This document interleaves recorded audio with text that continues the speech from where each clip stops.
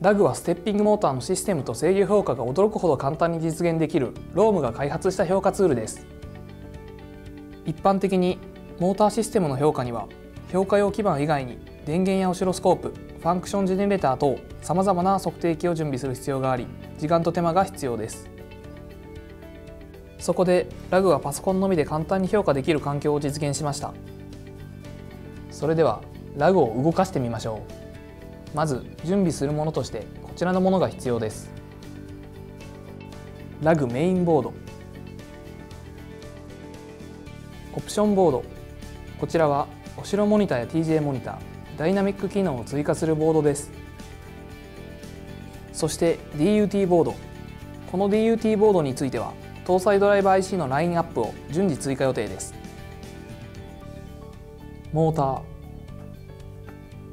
あとはラグソフトウェアがインストールされたパソコンです。ソフトウェアは DVD や Web より入手できますので事前にインストールしておいてください。それではそれぞれを接続します。メインボードにオプションボードをはめ込み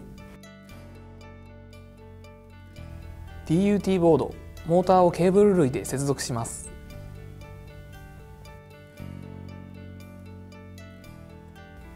そして AC アダプターをメインボード裏面のコネクタに接続。次に USB ケーブルを使ってパソコンとメインボードを接続しセットアップ完了です。セットアップした状態がこちらになります。それでは動かしてみましょう。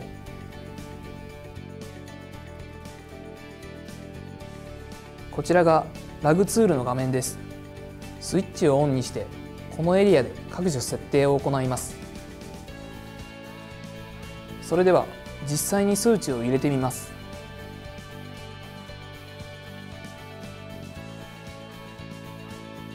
そしてこちらのボタンでクロック信号を入力しパワーセーブとエネーブルをハイにすることで動作開始です。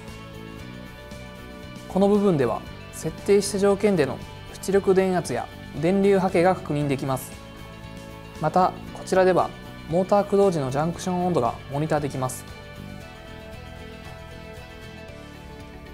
それでは設定条件を変更してみましょう。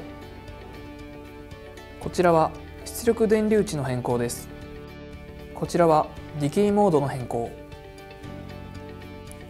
こちらはクロック周波数の変更。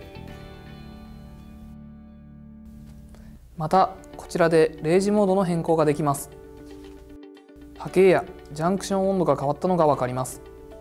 このように自由に設定条件を変更確認することで適正な動作条件を抽出することができます。さらにラグはダイナミックモードにも対応しています。こちらをクリックするとダイナミックモードコントロール画面が現れます。コントロール画面では動作モードを自由に設定できるので連続動作時の評価も簡単にできます。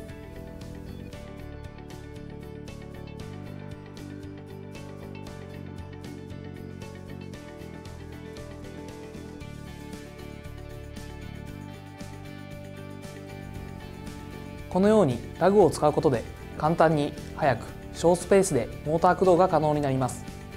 お客様にとってなくてはならない評価ツール間違いなしです。是非ご検討ください。